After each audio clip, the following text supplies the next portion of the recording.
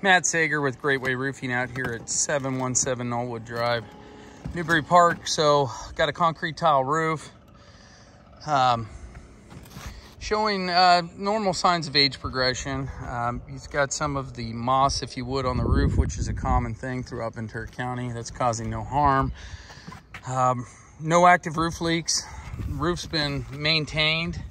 Um, and repairs have been performed over the life of the roof, um, noting pipes that have been sealed. We've got some debris that I recommend getting cleaned out. Um, need to run an air blower through that.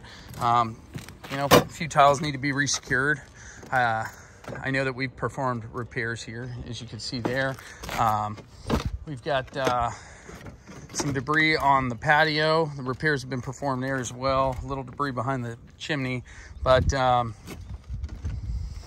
yeah, I mean, roof's gone through the last two seasons with the most rain, uh, no leak, so I don't see any need for replacement at the moment. Um, I just think this roof is in need of a good maintenance and uh, should continue to to survive uh, the next few winters to come.